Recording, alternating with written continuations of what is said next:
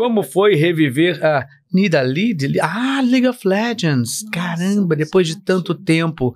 Adoro sua voz tanto nela quanto na Diamante Amarelo de Steven Universe. Essa também. Olha que legal É, isso, hein, cara? bonitona, né? É. Gente, você fez há tanto tempo.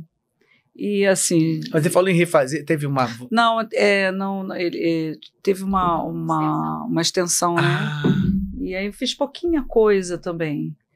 Mas game, vocês me desculpem, mas é uma coisa que eu, eu realmente não tenho. Você não joga e tal, não entende muito, jogo, né? Não Uhum. entendo muito. uhum. Mas eu me lembro que a gente foi na Bahia, né? E a gente falou um, um pouquinho sobre ela. Tinha, peguei até uma colinha que ela falava, meu coelhinho, né? Alguma coisa assim que eu brinquei com o seu personagem.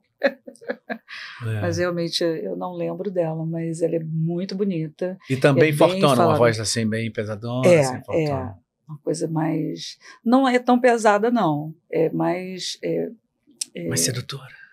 agressiva. Agressiva. Agressiva. Sensacional isso, Rita Lopes. Acho que eu nunca mais vou te encontrar e não, e não lembrar disso. agressiva. E aí, agressiva? Como vai essa vida?